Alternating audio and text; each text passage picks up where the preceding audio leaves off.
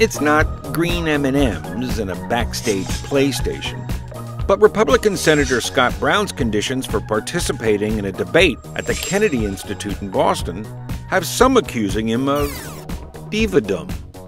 Invited by Vicki Kennedy to participate in a debate against Democrat challenger Elizabeth Warren, Brown's campaign said he would only participate if two conditions were met. First, that debate sponsor MSNBC drop out because of the network's quote, reputation for political advocacy.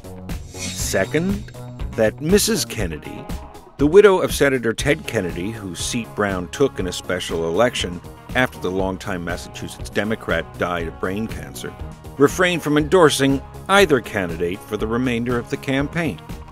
Many see the first condition as reasonable.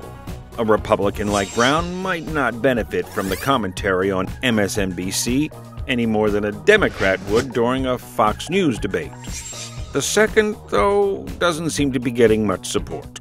At least not on Twitter, where the hashtag Scott Brown debate demands has spawned a comic arms race that includes the nuclear option demand that, quote, no actual voters watch.